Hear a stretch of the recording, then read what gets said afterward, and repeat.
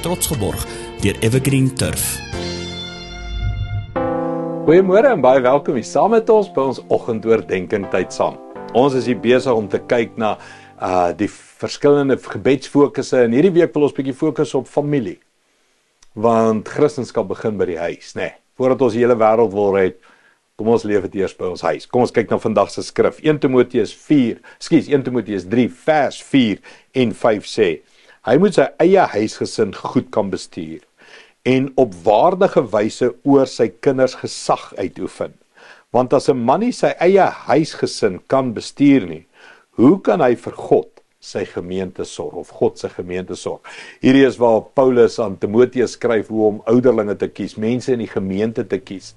En ja, dis van die moeilike skrifte in die Bybel want daar op 'n sekere ouderdom begin kinders hulle eie keuse te hê en het die ouer nie meer beheer nie. Maar terwyl hy in die ouerhuis is, kan jy met liefde en waardigheid gesag dissipline toepas.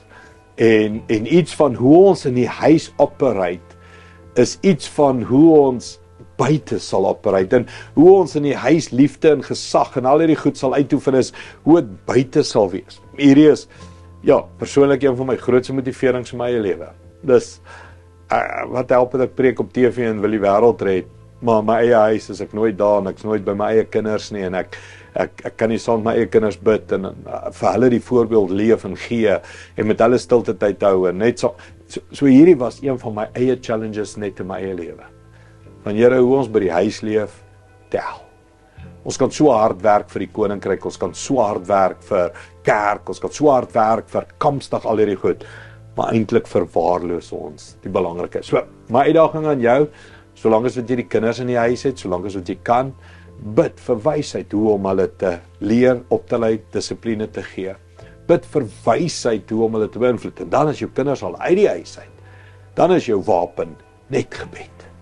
Dan gee jy vir hulle bid en bid en bid en die Here vertrou dat hy ingryp in hulle lewens aanraak. Jou kinders die Here dien, wees dankbaar. Sê dankie vir die Here. Jy gaan vir ewig saam met jou kinders wees en jou kleinkinders in die hemel wees. So dis dis die uitdaging om saam met ons kinders en kleinkinders in die hemel te wees. Ek wil saam met jou bid vir hierdie moeilike uitdaging.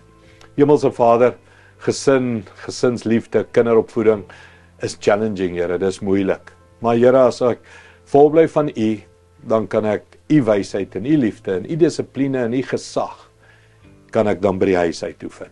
Here, hoe bid ek vir mense wat seer het in die familie?